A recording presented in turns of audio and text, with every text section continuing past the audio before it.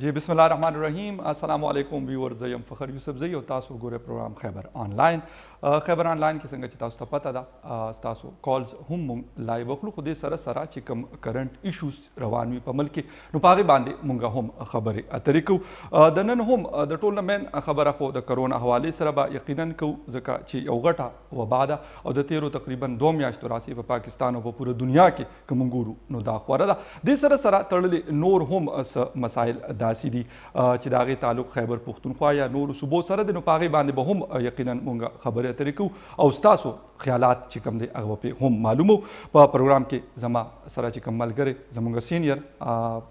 بیورو چیف هم دی او سینیئر صحافي هم دی حنیف رحمان صاحب حنیف صاحب څنګه تاسو ښه ټیک ټاک حنیف صاحب د ټول نمک کې خو زما خیال دی چې خپل ویورز ته نمبر وایم 0514102357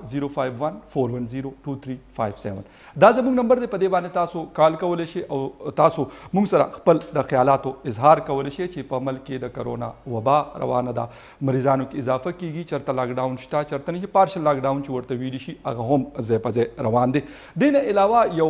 مهمه ایشو راغلی ده چې خیبر پښتونخوا او کشمیر په څه علاقو کې د ډیزلو قلت دی دا ځکه مونږ دا ایشو غشته ده چې نن سبا د غنمو فصلونه تیار دي سپیشلی زمونږ خیبر پښتونخوا کې او تریشرو سیزن دی یا نور داسې سیزونه دي چې دا غي تعلق دې سره دی نو هغه اویلیبیلیټي چې نه نو یقینا مسائل هغه سره ډیر دي شي مسلې پیدا کیدی شي او یو بل اهم ایشو چې کوم ده د صحافیانو ورځ تیره ورځ مانځل شوې ده درېیمه مۍ د صحافیانو عالمي ورځ مانځل کیږي په پوره دنیا کې نو دې حوالې سره به هم خبرې کوو او شروع به مونږ د دې نه کوو نو حنیف صاحب پرون څنګه د پارلیمنت مخې ته یو ډیر غټ ګیدرینګ شوی تقریبا زما نه دی خیال چې څوک پاتې شو چې څونه صحافیان د پنډه اسلام آباد دي که هغه د پرنټ دي که د الکترونیک میډیا دي تقریبا ټول هلته کې موجود وو مختلف قسمه بینرز هم وو مختلف قسمه خبرې هم وې خو زما په خیال چې یو پوینټ و چې یاره د میډیا چې کوم ورکرز دي یا د میډیا چې کوم خلک دي هغه ته چې کوم مسایل راځي نو دا غي د حل د پاره د حکومت نه غوښتنه وي تاسو هم الته کې موجود وي نو ځکه چې خو بیا راغلم نو یقینا تاسو به زیات بهتر نظر ساتئ نو څه جی فخر بالکل تاسو هم راغلي ویل ته کې د دا ورځ درېمه مې ورځ چې کوم دا پر ټول دنیا کې دا منځل کیږي د صحافت د ازادۍ په حواله باندې د صحافت ورځ په توګه منځل کیږي بیسیکلی د دې ورځ چې کوم اصل مقصد دی هغه خو د صحافت په حواله باندې دی په پاکستان کې د بدقسمتۍ نه دا ورځ لکه د تور ورځ مانځله کېده د هغې وجه دا وه چې دلته کې صحافت ته او صحافت شعبې سره تړل شوي خلکو ته چې کوم مسلې دي هغه انتهایي بنیادي مسلې دي یو خو د هغوی چونکې معاش تړلی شوی د صحافت سره بلکل معاشي مسلې دي په مختلفو حوالو سره میډیا هاوسز ته ډېر لوی مسلې دي حکومتي پالیسیانې داسې دي چې هغه په دې ملک کې صحافتي چې کوم قسم وده ده کم کم کم ګروت دی ګروت دی هغه ودرای د بدقسمتۍ نه بالکل نو کله چې ته میډیا هاوسز په باره کې پالیسي داسې خپله کې چې هغوی ته مسله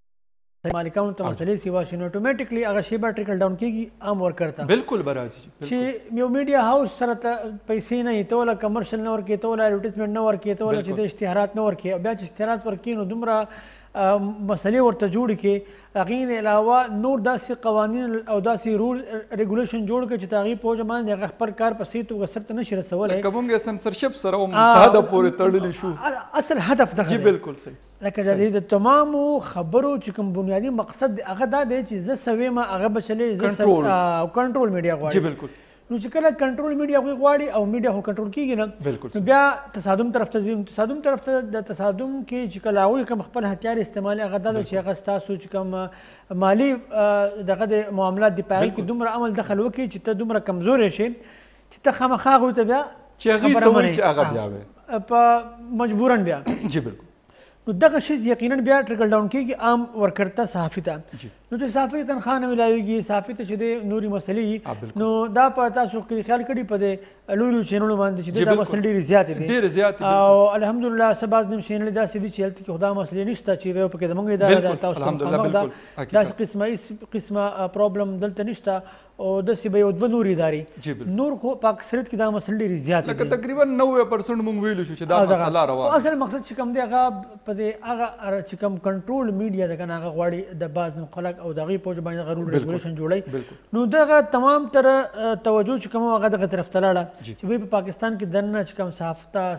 صحافتي ادارو ته چې کوم مسلې دي حکومت ته په کار دی چې هغه حل شي بیا وروسته د شبلي فراز بالکل وفاقي وزیر چې کوم دی هغه بالکل د روجمات په ټایم باندې راغی هغوی خطاب هم وکړو هغوی دا خبره هم وکړه چې کوم مطالبات دي دغه مطالبات موږ منو او بهرحال د هغې نه بعد موږ تقریبا څه لس نیمې یولس بجې وې چې موږ خپله هغه بیا درنه ختمه کړه پارلیمنټ هاوس ته مخامخ او مطالبات چې بیا ومنل شول ټیک شو ښه یو د حواله سره یو بل ورکوټ غونتی یو رپورت زما د نظر نه تیر شو اسه خو راغلی تقریبا څلور ورځې مخکې خو لکه ضروری ده چې موږ دا خبرې کوو نو ما چې په دې باندې هم تاسو سره نظر واچوي چې پاکستان کې تیر یو کال کې تقریبا 91 چې کوم دي یو نوی واقعیات شوي دي مختلف صحافیانو سره مختلف قسمه و صحافیان په تیر یو کال کې په پا پاکستان کې قتل شوي دي او د ټول نه چې زما لپاره جی د حیرانتیا حنیف صاحب خبره وه نو هغه دا وه چې ما هغه رپورټ پوره کته نو هغه کې وایي چې د ټول نه خطرناک ځای چې کوم د صحافت د پاره نو هغه اسلام آباد و جی د ټولو نه زیات یقینا تاسو په نظر نه تیری 34% ولته د دې وجه ده جی جی مخکې په ټول کې خطرناک علاقه چې کوم پر پاکستان کې لګي دا کراچۍ و جی بالکل یقینا ولې الته ام کیو یو غټه مافیا موجوده بالکل یو شتګر ما بالکل یو د شتګر تنظیم موجود و ټیک شو چې زه خپل متاثرو کیم بالکل تاسو د موږ ملګری متاثرونو کې د موږ ملګری مړ کړی دي جی جی نو دغه د شتګر چې دغلته موجود ول نو دا غوي ته مکمل اختیار نو په صحافیانو د پاره پټول خطرناک علاقه دغه و بالکل ټیک خبر بیا دا غیر واجب فیز راغی چې صحافیانو د پاره پټول خطرناک علاقه قبایلی سیمه وګرځول به شک بالکل جی فاټه ایریا بالکل بالکل الته کې بیا نور با سر قوتونه ول الته طالبانو ملفوج ول نه به طالب خلاف خبره کول شو نه به فوج خلاف خبره کول شو په مینس کې لګا د دوه اتیانو ترمنځ لګا او طالب ورته چې دما خبر وشله وا فوج ورته دما خبر وشله وا دوه خبر تا کا چلاو نو که یو خبر سره بل به خپه کېدو ډیر مشکل صورتحال او دنیا صافیان الته کې شهیدان شول بالکل بیا دا غینه مت خبر لاړه بلوچستان ته جی بالکل الته بلوچ علدګي پسند جدا ور او فوج جدا نو بلوچ علدګي پسند به خپل چې دما خبر وشله وا او فوج به دما خبر وشله وا لکه زه پخپله مونږ وزیر داخله و سرفراز بګټي د هغه خبره وه چې د هغې انټرویو مو وکړه او بلوچستان کې مونږ د هغې انټرویو مو وچلوله او ډېر په هغې کې ډېر اهم اهم خبرې هغه وکړې د ډاکټر الله نظر چې کوم دی د هغې باره کې خبرې وشوې د برمداغ بګټي باره کې خبرې وشوې د نور حربي ارمري باره خبرې وشوې د را په حواله ډېر خبرې وشوې ډېر ډېر تفصیلي خبرې وشوې انټرویو چې کله وشوې ده نو هغه بلوچ سپریټ چې کوم دا غوي موږ ته کوم دا کول راغی بس هغه چې به تاسو صافتي ذمہ داری ستاسو جوړیږي چې زموږ موقف هم واخلې او دون دون صاحب لا بسم الله په سرسترګو ما بالکل ما زی وخه ما کرازي هغه زی چې هغه کوم وخه هغه زی زموږ نه وخت نه بهر و لازمي خبره ده هغه هغه ډېر هغه هغه داسې بهر و چې لکه کم از کم سوله ستره غنټې سفر و او بل دا چې خطرناک هم په دې و چې ما خدای ستره که بیا موږ خپل درې ملګرو سره مشوره وکړه نو هغوی چې وکړو لاړ به شو خو بیا د مختلفو خلکو طرف نه ما ته وویل شول چې بی دا ریسک اخیستل نه دي پکار او بهرحال موږ هغه ریسک وانه اخیستو نو زه خو بیا یو میاشت هلته هم بیا واپس راغلم خو چې کوم سړی هلته اوسېږي هغه څه کوي هغه به څه کوي دا ډېر اهم پوینټ دی لکه په کراچۍ کې زه اوسېدم او چې بالکل ایم کیو هم طرف نه مسلې وې اخوا دی خوا نو ما د پاره بل آپشن نه وم د کراچۍ پرېښوده بالکل په قبایلي علاقو کې چې کوم کس هلته پاتې کېدو هغه به څه کول هغه به یا به ته غزي پرې خو څوک پېښور تر غلی او څوک پکې اسلام آباد تر شي خپل علاقه خو سړی جی نشي پرې خو بلوچستان دی ها دا ټول قسم به راړه اسلام آباد ته پس باندې جی جی اسلام آباد ته په دې باندې راړه چې په اسلام اباد کې دننه بیا چې کوم صحافیان دي هغوی په پاکستان کې چې کوم حساس معاملات دي په هغې باندې رپورټینګ هغوی شروع کو په چې په هغې کې نیب کیسز هم دي په هغې کې د سیاسي مسنګ پرسن سو نیب کیسونه شول بیا دلته کې د مختلفو خلکو په مختلف سیاسي ګوندونو خلاف کوم کاروایي روانې دي په هغې باندې چې ترکل لیکل کې نو هم تا ته چې دې مسلې راځي نو په اسلام آباد کې دا مسله ځکه سیوا شوه چې دلته چې کوم صحافیان دي هغوی بیا هغه نېشنل ایشوز چې کوم دی هغه اډرس کول شروع شول او دا نېشنل ایشوز چې کومول که نه هغه تړل شوي دي ډایرکټ زموږ سکیورټي ادارو سره بلکل صحیح ښکاره خبره کوم که نه صحیح خبره مسله ګلپټي وایي چې بلکل صحیح خبره پلانکې او ډینګې او اخوا دې ښکاره خبره ده که د نیب معاملات دي که د سیاسي ګوندونو کیس خلاف کیسونه دي بیا که په پاکستان کې درخه بیا دلته کې درنې وشوې دوه درې هغه درنې چې کوم دی هغه ډایرکټلی په هغه کې ویل کېږي چې ډایرکټلی انوالو ول زمونږ چې کوم د فوج ادارې دغه پکې انوالو وي نو کله چې صافیان فیض آباد درنه وګوره فیض آباد درنه خو ښکاره ده د تحریک انصاف نه درنه بالکل جی 2014 والا یاد ټیک شو بیا د مشاهد الله سید د مشاهد الله خان چې کوم خبره ده چې به څوک په دې کې انوالو وو چا چا څه کردار ادا کړی دی نو کله چې په دې باندې خبرې شروع شوې او بحثیت صحافي په دې باندې خبرې کول شروع شول لیکل پې شروع نو یقینا بیا خو به هغه خبره چې چېرته بس هغه خو بیا رد عمل راتلو کنه بالکل صحیح نو دا رد عمل دا رد عمل چې کوم په بلوچ اسلام آباد کې ښکاري دا رد عمل په پښتونخوا کې په قبایلي علاقو کې په بلوچستان کې په کراچۍ کې په ټرایبل ایریاز کې دا مخکې ښودل شوی تیر شوی دا رو رو رو دا شی شفت اسلام آباد ته ټیکل ډاون دلته اسلام آباد ته اسلام آباد کې دا شی ولکه چې اوس دې ټیم کې حنیف صاحب په دویم نمبر اوس هم سند موجود دی ګوره اسلام آباد 34% سند چې کم دیغه 27% خیبر پښتونخوا 14% او بلوچستان 3% لکه ډینجرس دی د صحافتي ذمہ دارو د پاره د دې نه علاوه چې کم د ټي وي صحافیان پکې د غشوي دي متاثر شوي دي د هغوی تعداد هم ډېر زیات دی، هغه سکسټي ناین پرسنټ صحافیان د ټي وي دي او دې نه بعد بیا د الکټرانیک میډیا او نور چې کوم د سوشل میډیا دي نو دغه خلک متاثره شوي دي. خیر دا خو یو رپورټ نمایي چې لکه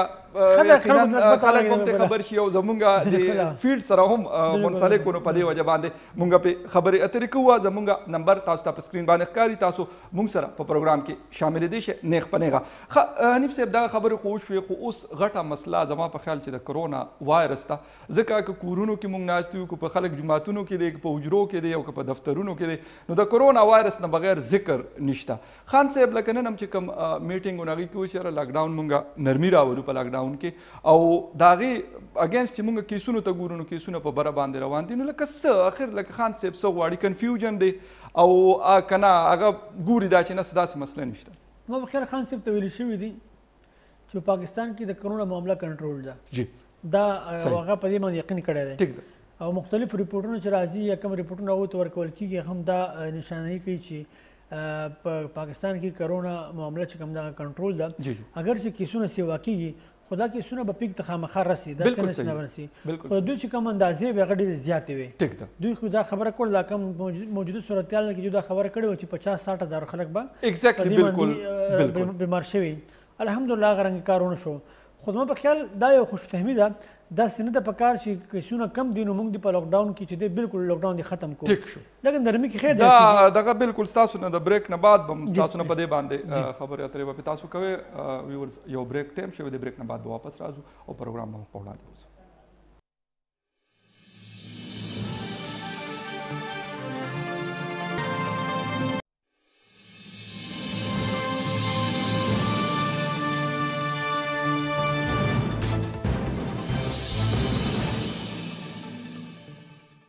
پروګرام کې تاسو ته یو ځل بیا هر کلی وای پروګرام کې مونږه دې ټیم کې خبره کوو د کرونا وایرس حواله سره او دې سره تړلې د لاک ډاون حواله سره نیم تاسو خبره کوله چې دا شاید چې د خان صاحب دا خوشفهمي ده لکه دا ول لایټ نه دی غشتل پکار بلکې سیریس نس پکار دی چې غي شو کی ګوره دوه خبرې دي د کم اندازې چې لګي چیرې نشته او کم دی او مدافعت د مدافعتي نظام د خلکو مضبوط دی کنه که دا ټولې خبرې ټیک وي الله دې کې چې ټیک بالکل صحیح الله دې کې موږ دعاګو چې دا ټیک او چې دغه رنګ یو شي که دا ټیک او تاسو لاک ډاون وکړئ بل فرض کنه لکه سختی بیان تیر کړئ لکه تکلیف بیان تیر کړئ کنه نو څه به وشي خو دوه میاشتې تکلیف به تیر کړي کنه بالکل لکه دوه میاشتې به تکلیف تیر شي درې میاشتې به تکلیف تیر شي نقصان یې شته فائدہ ده کنه بالکل خو بل فرض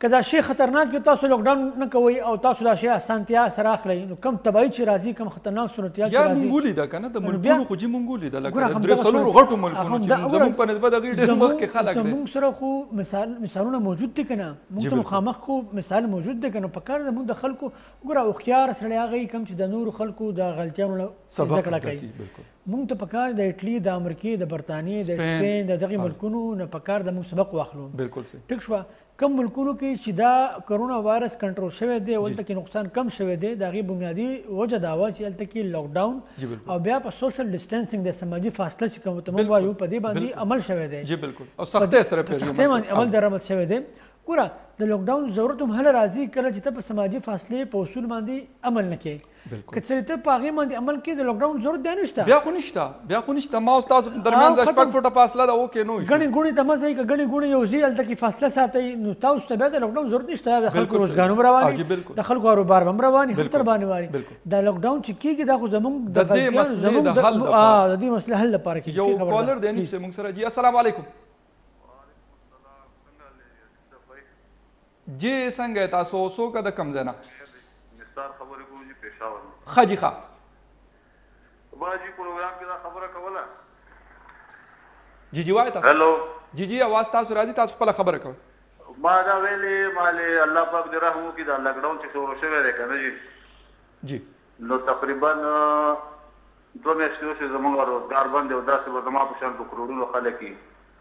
نو زموږ تقریبا ستر اسی هزار روپی کرایی ده ښه دی نو موږ ویل چی حکومت دسی یو هغه کړی وی څنګه چی په بلوچستان او هغه سند او پنجاب کی اعلان نه وکړو چی یاره دا مالک جایداد دی دا کرایان دی معاف کی کنه بلکی حکم یی کړی دی او زموږ حکومت چی دی نو دی اپیل کړی دی نو لکه څنګه چی عوام اپیل کوی اپوزیشن اپیل کوی نو داسی حکومت هم اپیل کړی دی نو موږ ویل چی حکم یی کړی وی او ډیر تکلیف کی بعضی خلک داسی دی دا سپی پوسته خلک دی نه خیرات زکات اخیستی شی نه څوک قرض ورکوی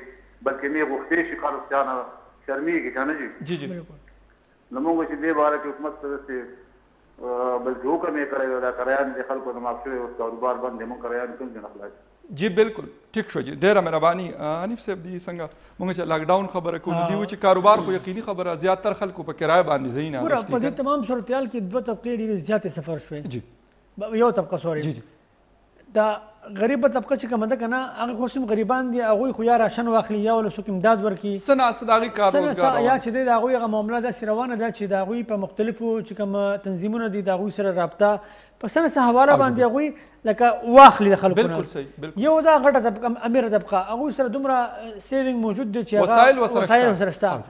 دا درمیان طبقه څه ده دا په مس کې چې لکه د روش خبرو دا دکاندار دا وړو کې کاروبار والا دا وړو کې روزګار والا دا د بدري دکانونو چې شادي د شاشي وړو کې شان چې چرته بزنس دی دا سړی خراب پدې شو چې دی نه د غریبانو فهرست کې دی او نه د غریبانو خلکو نه نو سره سیوینګ شته د مالدارو خلکو په شان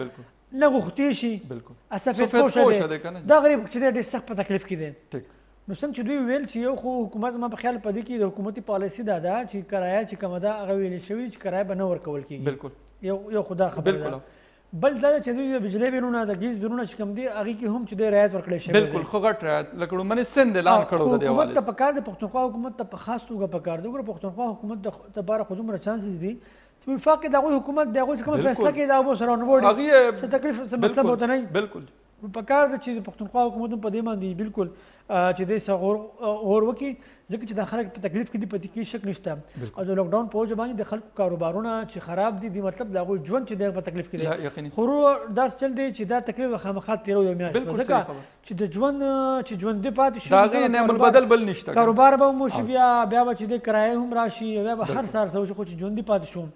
بل که دا خطرناک صورتحال دی خدای نه خواسته په پاکستان کې بیا نه په هسپتال کې دومره سهولتونه شته نه پاکستان سره دومره وسایل شته چې بیا د دې دومره ډېرو بیمارانو چې بیمارانو علاج وکړي تاسو ګورئ د شل زره نه سیوا شول تعداد د مریضانو 20800 نه برش خدای نه خواسته که په دې کې نیم خلک هم سیریس کېږي او هغه ځې هسپتالونو ته نو پس پس هسپتال کې خو دومره ځای نشته سره خو لکه نن وختي مونږ د پروګرام نه مخکې چې خبره کوله ډاکټر فرقان صاحب د کراچۍ واله چې هغه د وینټیلیټر د وجې نه چې هغه هغوی لکه وګرځو دوه درې هسپټل سته لکه ښه مشهور ډاکټر لکه یو عام کس خو ورته مونږ نه نشو ویلی که نه ډاکټران د هغه لحاظ هسپټل خلک هم د هغه لحاظ خو وینټیلیټر ورته اویلیبل نه دا لکه کریټیکل سچویشن هغه شانتې نه دی او لکه نه خدا نه خاصه که هغه راشي نو زه وایم چې یاره دا کاروبار د خلکو خراب شو د خلکو روزګارونه خراب شو د خلکو ژوند د معمول نه خراب شو دا ټیک دا مسله شته خو دا به یو میاشت برداشت کوو ځکه چې دا د معمول ژوند نه دی دا د حال د جنګ نه خطرناک جنګي حالات دا غي نمزيات خطرناک دا خطرناک صورتحال دی لږ تکلیف به تیرو دا داسې دا لکه یو سړی چې بیمار یو هغه ته ستن لګي یا ډریپ ورته لګي یا سرجري کېږي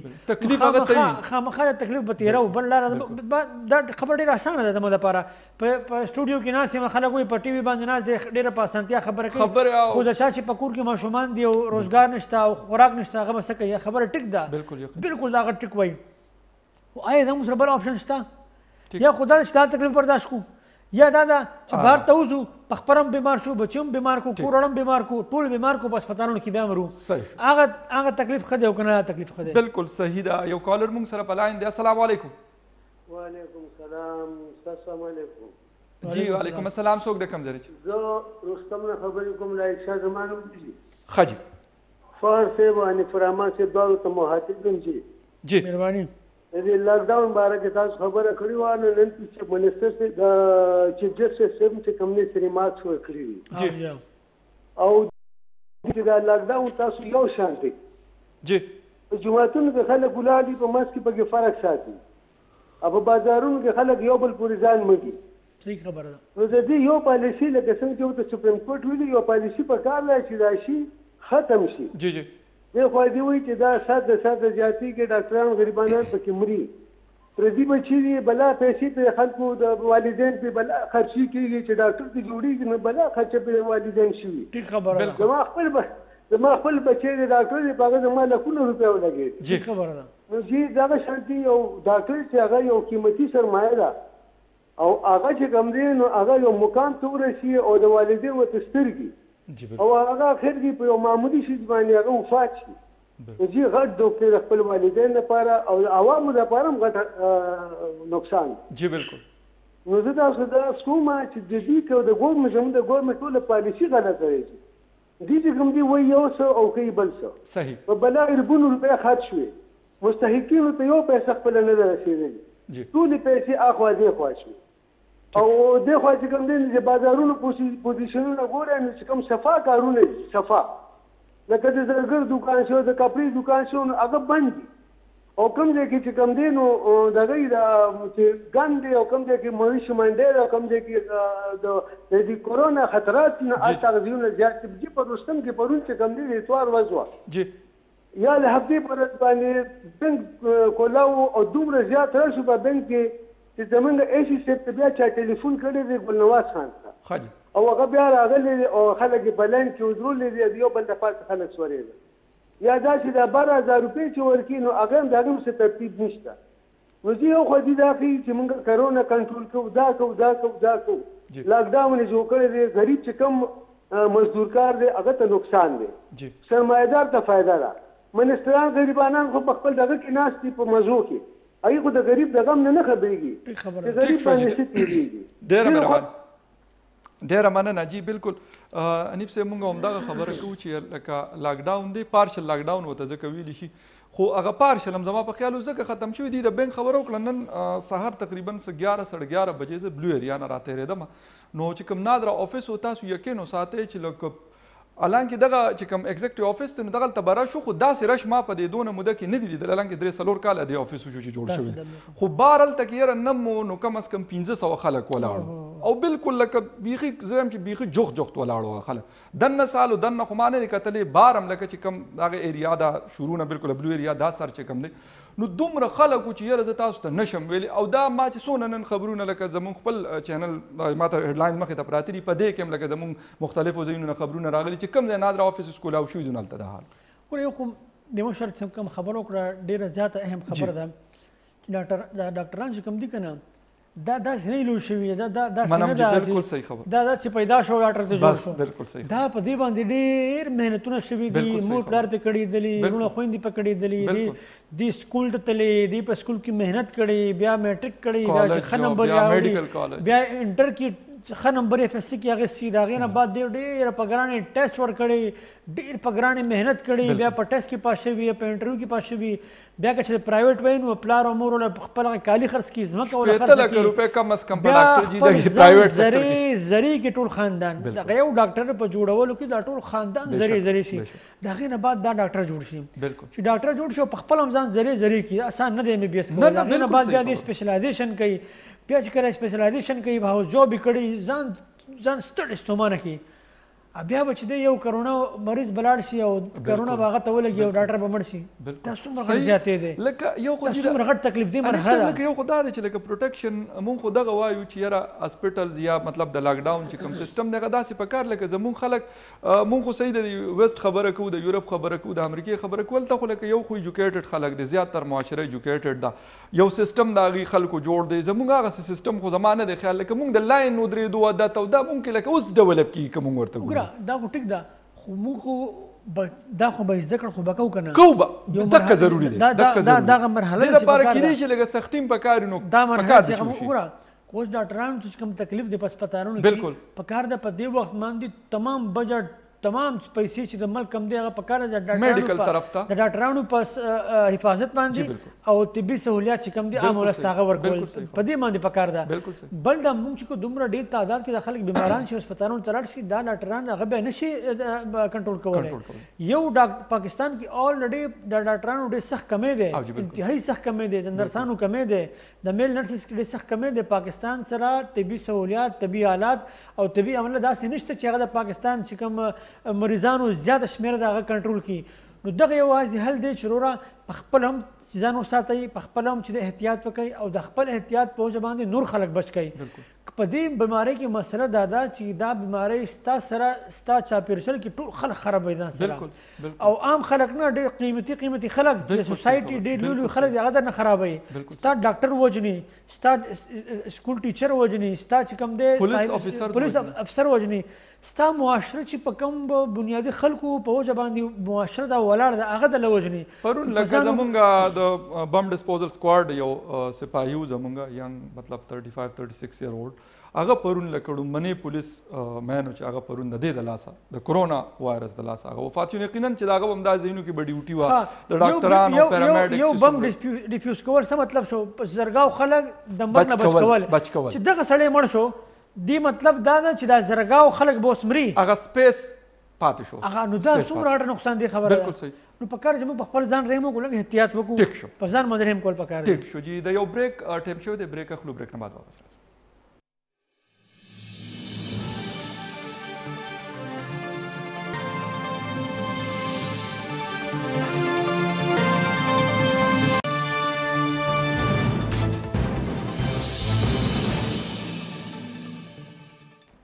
جی ویلکم بیک پروګرام کې تاسو ته یو ځل بیا هر کله وایو پروګرام کې مونږه خبره کوو د کرونا وبا حواله سره او د دې احتیاطي چې کوم تدابیر دي اغا یا لاک ډاون یا چې کوم دې کې اضافه کیږي چې څونه مریضان دي هغه ورځ تر ورځه سیوا کیږي حنیف صاحب یو خو پکې دا مسله هم راغلې ده چې خیبر پښتونخوا د ټول نه زیاته متاثره صوبه ده پرون بلکې بیګا د ابوظبي نه یو فلایټ راغلی او چې هغه تقریبا 209 کسان هغه کې راغلي دي او هغه کې 100 خواوشه هغه کې لکه هغه پازیټیو راغلي دي نو یو خو دغه نمبر دی پلس چې کوم لوکل ترانسمیشن دی هغه هم ډیر زیات دی او د هغې باوجود لکه زمونږ که مردان ګورو که پېښور ګورو نو ټول نه زیات خلک لکه هلته بهر هم دی لکه روزي بهر مارکیټونو ته او یو ځای بل ځای کې لکه احتیاط نشته هغه د مرګونو دا شمېره هم ځکه سیوا ده جی جی دا ځکه سیوا ده چې د احتیاط خلک نه کوي احتیاط نه کوي احتیاط نه کوي چې احتیاط نه کوي نو کم چې اورډي بیماران دي د کم خلکو کې دنه چې اورډي سره سره بیماری ده هغه ته دا شی ولګي نو دا غوښ به د بچ کېدو چانس نشته کنه بالکل صحیح دې بیماری غټ نقصان دا دی چې دا خو یو ډیر زر لګي او چې په بل انسان کې معمولی شان هم سبب بیماری نو دا بیا هغه وجه پرې دا غي اثر بیا زیات زیات زیات بالکل او هغه دفاعي نظام چې کم دی قوت مدافعت هغه انتهایی کمزوري کی دا موږ چې بار بار وایو چې یاره سوشل ډیسټنسینګ پکار دی احتیاط پکار دی ځان هم بچ کې بل هم بچ کې دا خې وجه هم دا ده چې کې دې شي په یو انسان کې کرونا وایرس موجود وي هغه ته ډوپت نه لګي هغه دنه دومره مضبوط دی بالکل چې هغه ته ډوپت نه لګي خدا هغه چې بل چا سره لاس ملاو کې یا سره ټچ شي دا غنه بل ته ولګي هغه بل کمزوري هغه ډایرک ختم شو خبره دقه ده هغه ډایرک او خاص کر د خپل مو پلار چې کوم دي مشران یا نور مشران چې کوم دغه سره تګ راتګ دي خلکو دي بيخي ګبره خړې پختونو تاسو خو د وګوره مردان خو کله نه دی یاره مردان خو پروپر سټي ده د مغټ ضلع ده دا خبر پښتونخوا جی لکه مردان شو سواد شو 400 په خبر شي 400 سواد مردان په خبر خلک دا شي سیریس ناخلی نو زبر دا د لری د کالام په غلو باندې د جنوبي ځلا کې یا چې چرته کلو کې مونږ خلک وسیږو نو بیا څه کیږي نو بيس پکار داده چې لګ داشي او بل دومره دومره ټايم په نه لګي یو میاش پاتې شو صرف یو میاش انیف صاحب په دې باندې بالکل تاسو په بیا خبره کوي خو یو کالر دی مونږ سره وعلیکم سلام پخر صاحب او انیف صاحب تاسو دواړه ته سلامونه جی وعلیکم السلام څنګه یې تاسو جوړ یې طبیعتونه خدي تاسو ټول ټیم ته خیبر نیوز ته خیبر ته ټول ته سلامونه ډیر مننه ډیر مننه جی زه خو دا خبره وکړم چې ډاکټر ته او نرس ته نمبر ایک سلام ټول سټاف ته ډاکټرانو ته نرسانو ته سټاف ته سلام آرمي ته او پولیس ته سلام چې د عوامو په خدمت کې وتلي دي ولاګېدلي دي و حکومت باندې ځکه مثال کا یا منسټر صاحب ته یا وزیر ته جی. خو زه خو چه بهر حکومتونه وینم ځکه چه دوی سره هر څه شته دوی ته دومره پیسه ورغله دومره فانډینګ ورغله بخښنه غواړم پروفیسر صاحب نه خالی نیم ملت چه دومره پیسه ورغله چه دا پیسه او دغه شیونه یې د ډاکټرانو په نرسیانو ته دغه ته یې ورکړی وای او دوی ته یې مثال که څه شای په کړه وای دی ته مخکینی په کړ یو وای ځل کا چه دی څه لګیدل دی ډاکټرانو دی نرسیانو ان شاء الله دا غا وبا او دا مراض بو دومره نه پیلاویدای او دی ته بو نه راسیدای بیا چه دی مونږ ته جوړ وی بیا ان شاء الله عوام بو دی دی سره جوړی دی دی دی لاسه بو جوړ وی او بخښنه غواړم ای تاسو دی ټیم دی راکولو او بل دا غا خبره چه کوم چه څه ورته راغلی دی دی الله دی پاره دی ورته ورسوی دی عوامو ته عوامو دی لوږی مړه شول زه خپل دی سعودی عرب نه می ټیلیفون کړای دی د تاسو د وخت راکولو یو جهان مننه. ډیره مهرباني جی ډیره مهرباني بالکل ښه دی خبره کوله بیګا د اسد عمر صاحب یو بیان راته په ټي وي باندې چې یاره خلک د کرونا نه دونه خطر وته نشته او خلک لکه د بوک اف لاس د لوګي نه خلک مړ کیدي شي نو لکه زه خپل دا زما یو ذاتی خیال دی مې به تاسو متفق نه وسره چې لکه د لوګي نه زما نه دی خیال چې خلک به داسې مړ شي خو د بیمارو د لاسه په دنیا کې لکه هیستري ده چې په کروڑونو خلک مړ شوي دي یو خو پاکستان هغه افریقایي ملک نه دی جی بالکل چرته د خوراکو سیستم بالکل صحیح بالکل صحیح تاسو ګوري کله چې دا لاک ډاون پر شروع کی شروع شو نو دلته څومره غیر سرکاري تنظیمونه عام خلکو د د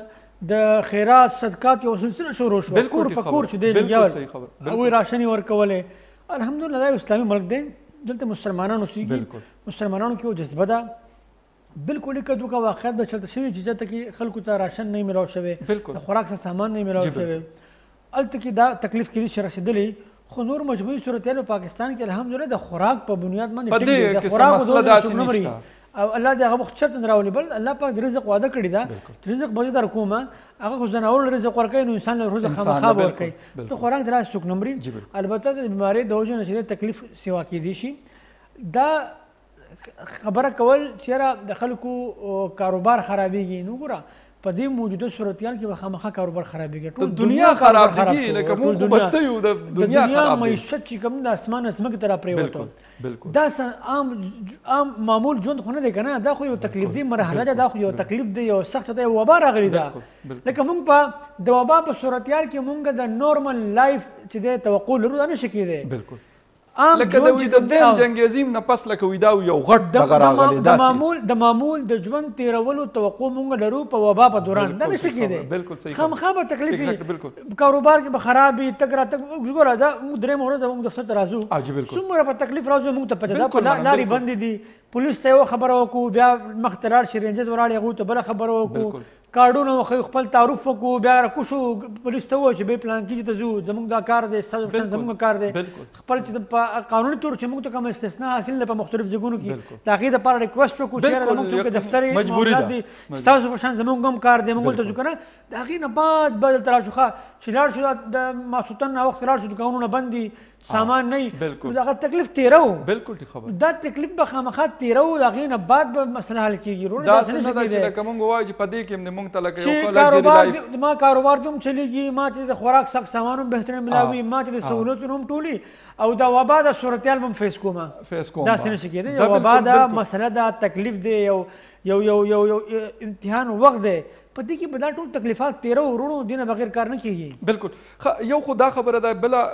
یو خبر مې مخه ته تیرېده لکه دا زه بیسیکلی دا سره تړلې دی کورونا سره لکه پاکستان کې خو مسلې مسایل ډیر دي خو په هندستان کې هم د حواله سره سپیشلی مسلمانان لکه ډیر زیات مسایل فیس کوي الته کې هسپټلز کې یا چې کم د لاک ډاون په وجه باندې کم راشن یا څور ورکول کیږي نو هغه خلک هم لکه ډیر د مسایلو سره مخ دي خو موږ سره یو کالر دی بیا به تاسو نه تاسو کوم جی السلام علیکم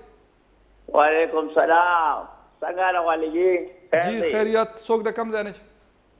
زه چې د کارنر شیر کلی نه خبرې کوم جان زیب ښه جي نو ستاسو خبرې خو ډېرې ښکلې دا د ټول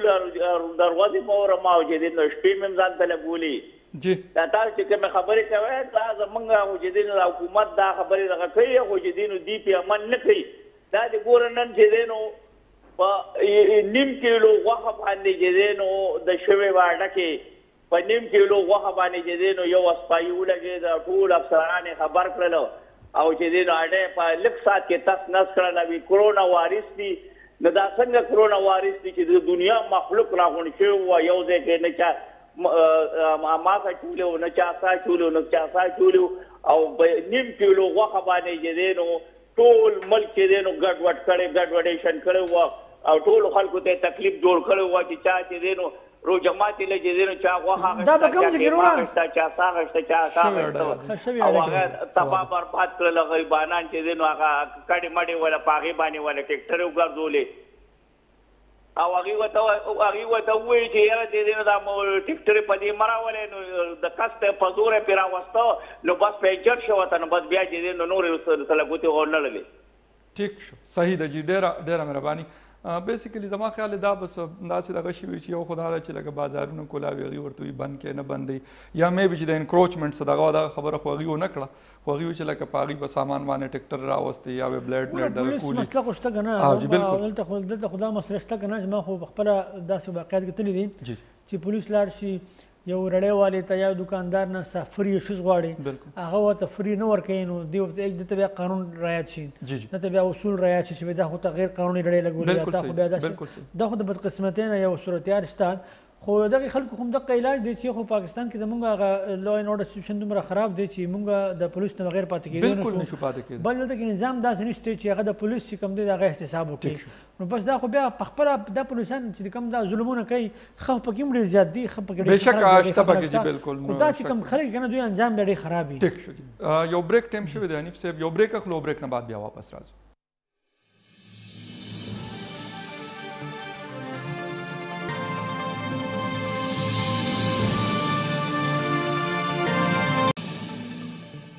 جی ویلکم بیک پروګرام کې تاسو ته یو ځل بیا هر کلی وایو د پروګرام په دې حصہ کې مونږ خبره کوو د کرونا وبا حواله سره د سره تړلې لاک ډاون چې کوم دی او احتیاطي تدابیر او هغه سره سره زما خیال د ټول نه اهم چې کوم سیس دی نو هغه د عوامو تعاون دی چې کم که کله هغه تعاون کوي حکومت سره یا چې حکم کومې حکومتي ادارې دي نو یقینا چې هغه ګران کار اسانې دي شي خو که فرض کا خلک تعاون نه کوي تاسو مونږ نو زما خیال دی چې هغه اسان سیز هم مونږ ته ډیر ګران دي شي تاسو کالز هم مونږ اخلو په پروګرام کې د سره سره انیف صاحب مونږ یو خو دا خبره وکړه چې لکه خلک احتیاط نه کوي بل خبره ما تاسو ته د هندستان حواله سره کوله چې الته کې د دې کرونا وبا چې کله شروع شو نو پاکستان کې هم لکه داسې و چې تبلیغي جماعت خلکو کې وایرس راتلل خو هغه لکه د هغې دا وجه نه چې هغه ګنې صرف تبلیغي جماعت نو د هغې قصور و د هغې وجه دا نه وه هلته کې مختلف خلک هلته موجود سیم ایز اټ از دغه سیس په هندوستان کې هم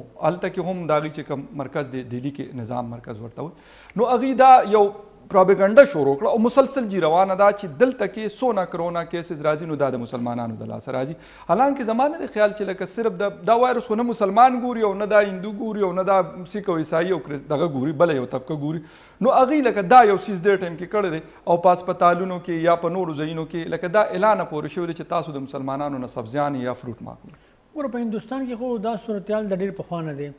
د نریندر مودی په شان یو دهشتګرد چې کوم دی د آر ایس آر ایس ایس یو تنظیم مشر چې کوم دی هغه وزیر اعظم جوړ شو دا د هغه سوسایټي انتها انتها پسندانه سوچ عکاسي کوي یو انتها پسند یو دهشتګرد هغه خپل وزیر اعظم جوړ کړو دا غنه هم دغه توقع مونږ لرو کوم چې هغه څه کوي او دا خد چې کوي دا ایکسپوز کیږي بالکل صحیح بالکل موده چې کم کار کوي ایکسپوز کیږي نن د د د دنیا چې کم غټه غټه د انصاف او د انساني حقوقو ادارې دي هغه ټول مجبورا د مودي دومره غلط کارونه شروع کړل چې هغه مجبورا د خلاف بیان ورکو هنه کې معمول دا دی د هندستان خلاف څوک بیان په دین ورکړي چې کاروباري تعلقات د خلکو سره د دنیا د ډېر لوی ملکونو معاشي مفادات تړل شوی د هندستان سره خو نن چې هغه د سټیج تر ورسېدل چې هغوی هم مجبورا د ده خلاف بیان ورکړو نو اندازه ولګوئ چې څومره ته خطرناک صورتحال دی څلور ورځې مخکې غالبا حنیف صاحب یو رپورټ خو راغلی تاسو نظر نه به تېر شوي یو اس سي آی آر اف چې کوم دی د ریلیجیس دغه فریډم حوالې سره نو په هغې کې چې لږه په مسلمانانو سره زیاتې روان دی چې به اقلیتونو سره ډېر سخت زیاتې روان دي اقلیتونو په حواله باندې ټولو کې زیات تکلیف دی مرحلې په هندوستان کې دي نو دا د سړی په خپله اکسپوز کېږي پاتې شو د تبلیغي جماعت خبره جی بالکل تبلیغی جماعت زه خو ویم دی وخت که په دنیا کی د دین په حواله باندی څوک ټول کی بهترین کار کوي هغه دینی جماعت چې کوم دی هغه تبلیغی جماعت دی خپل پیسې لګای خپل تکلیف کوي خپل وخت خلی خپل بسترای او سوی وای ځان ټیک کا دنیا به ټیک شي په خپل شخصیت باندې کار کوي ښه چا ته کنزل نه کوي بدر دی نه وای چا ته چا چا چا لپاره چې د خط تشدد نه کوي چا بوج نه جوړيږي بوج نه جوړيږي دومره نفیس دومره خلک ما په خیال د دې خلکو خلاف خبره کول چې کم دی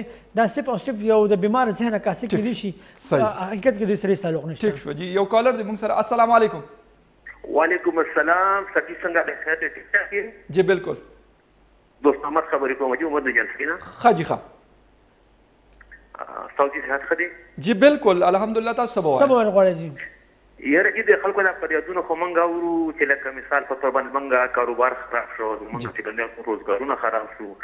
دا خو جی په سر سترګو باندې د خلکو خبرې دي خو اصل خبره جی د دې وبا ده بیمارۍ ده جی د دې تحفظ او احتیاط جوړې لازمي خبره ده جی جی او جی د دی لپاره مثال په طور باندی مثال چه څومره سکیورټی اداری دی یا نور فورسونه دی د هغوی چوټیانی د هغوی دی ډیر داسی مسلی دی چه هغوی په برداشت کښی لګیا دی نو که یو طرف عوام دغه برداشت کړی یا مثال کاروباریان دا برداشت کړی نو جی دغه شان نور محکمو والا هم جی دا برداشت کړی نو په کار چه دا خلک برداشت وکړی. بلکل خبره هم دغه ده بلکل او داسی نورمل حالات خو ندی کنه دا خو ډیر تکلیف دی وبا راغلی ده په دی کی نورمل ژوند موږ نشو اسپیکټ کولی صحیح خبره ده.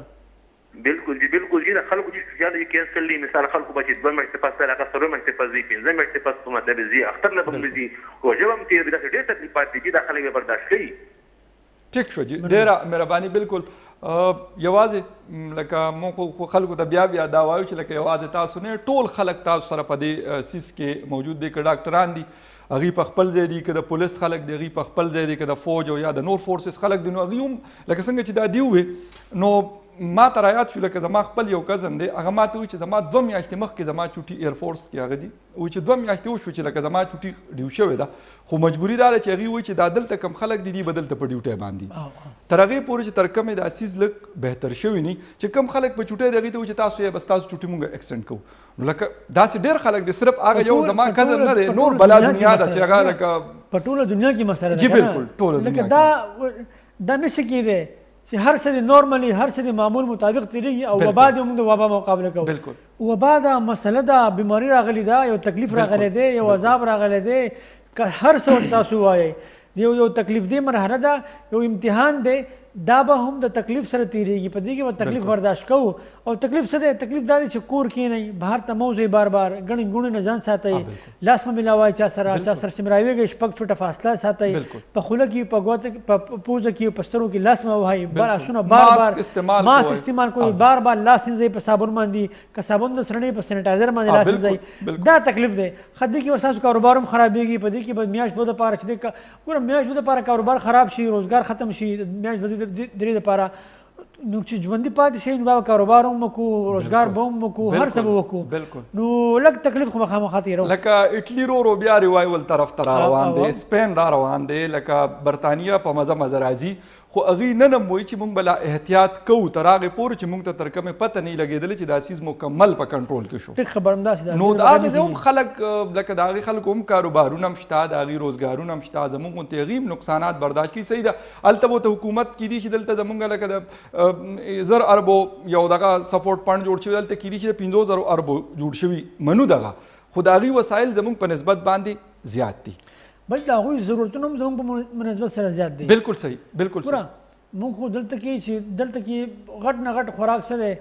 چې د غوښه سړی خوري چرګ خوري سبزیان نشته دانو نشته که نه لکه دا خو هر چا ته دستیاب دي که بالکل الحمدلله د هغوی خوراک د هغوی انداز د هغوی د ژوند تېرولو طریقه جدا ده د موږ طریقه جدا ده بالکل نو پاکستان کې ما په خیال که خلک لږ تکلیف برداشت کړي نو دا وبا زیات بهتر کیدی شي یو کالر دی موږ سره السلام علیکم السلام علیکم جی وعلیکم السلام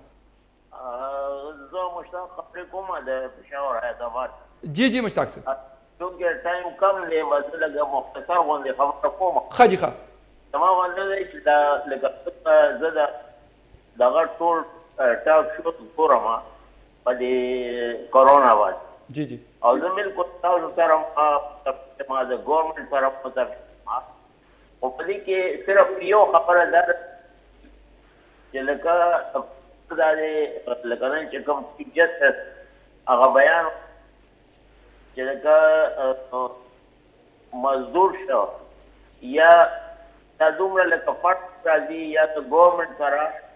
د پر ډیزاسټر کې لکه همیشه چې که سیلاب راشي یا زلزلې راشي نو هغه خلک لکه عام خلک ټول عمر نه وي کنه نو پکار دا دی چې دا خلک به نه راوځي ګو چې دلته زمونږ په ملک کې تعلیم نشته اویرنس نشته خو چې یو سړی په کور کې وږی ناست وي په لږه څوک دوه ورځې مو لوږه تېره کړي نو مونږ خو بار بار ورته دا ویو چې یاره تاسو هم وایي مونږ هم وایي د هر پلیټ فارم نه ورته دا خبره کیږي چې دا به ټول میاشت نه وي څه عمر به نه وي میاشت به وي دوه به وي یا میکسیمم درې به وي نو بیا به تاسو ټول عمر خو لکه مطلب دا دی چې دوی ته یو داسې پالیسي جوړول پکار دي لکه بار ملکونو ولې سروایو کړه بار ملکونو په دې سروایو کړه چې هغوی کورونو کې ځان وساته نو هغوی ته د کور کې دننه هر یو شی ملاوېده، نو چې یو سړي ته په کور کې کانا پینا، مېډیسن، د هغه د ضروریات زندګي هر یو شی ملاوېږي، نو په کار دا ده چې هغه هغه به اټومېټیکلي بیا د کوره نه راوځي، خو چې هغه ته ټایم هم کم وي، او هغه ته دا فیسیلیټی هم نه وی. د احساس پروګرام خبره په خپله وکړه ده چې یو طرف ته دوه کسان یو ځای پریږدی نو په ډنډو باندی او په چوکو باندی او په تاڼی ته بوځی. بل طرف ته چې د احساس پروګرام خبره شی نو په سوونو او په زرګونو خلک ولاړ وی هلته بیا هیڅ هم نه وی. نو لکه دلته پالیسی نشته دی. دلته د چا خبره چې په يو دغه کې هم اداره کې په يو دغه کې هم لکه د دې لپاره سيميوليشن په دغه نشته دی. ټيک شو ډير ډيره مهرباني مشتاق صاحب کول کولو او هغوی د پالیسۍ خبره کوي نو هغه خو زمونږ فقدان شته په ډيرو ځایونو کې دا مسلې مسائل روانې دي خو احتیاط به کوو حنیف صاحب اخري بس اخري منټ ته یو دغه خبره کوو صرف چې د پټرولیم پروډکټ ډیر زیات شارټیج راغلی سپیشلی د ډیزلو خیبر پښتونخوا کې او د هغې سره زما خیال دی چې ټول د مزدورۍ چې کوم څیزونه نو سره تړلي نو ما ځکه وایي چې په دې باندې یو شارټ غونډې کمنټ ورکړي حالانکه پاور ډویژن وایي چې موږ سره یو پوره سټاک موجود دی د هغې دغه چې ما وکاته سټیټمنټ نو دوی چې موږ سره سټاک موجود دی خو دا خو یا اوس پټرولیم پټرول پمپ چې کوم دی هغې ګړبړ کوي یا چې کوم ډسټریبیوټرز دي نو هغه څه ګړبړ کوي خلکو سره او قیمتونه کم شو قیمتونه کم شو دا پکې ذکر دوی چې دی دوی چونکه دوی به دا وایي چې موږ مو ته شی په ګرانه مې راوړل جی بالکل نو پرځان ولې ورکو جی بالکل او دوسر شو کې مخکې نشي موجود بالکل سٹاک دا د حکومت پالیسی فقدان دی کنه تاسو خبره حکومت په کار چې په دې کې رندر اوالي او چې چا سره نه ورته به چې نشته بشي سیل کوچ بالکل څنګه سٹارټول سره موجود خو هغه ذخیره اندوسی والا خبر ده او ګران فروشي کنه شي ګران خرڅ کی او دوی اوس هم په دې ټار ځان کې چې لږ به دا شي ګران شي به موږ ګران خرڅ کو ټیک شو جی ډیره مهرباني حنیف صاحب او تاسو کتونکو هم ډیره زیاته مننه موږ خبرې اترې وکړې ان شاء الله په بل پروګرام کې بیا تاسو سره ملاقات کیږي د الله پامه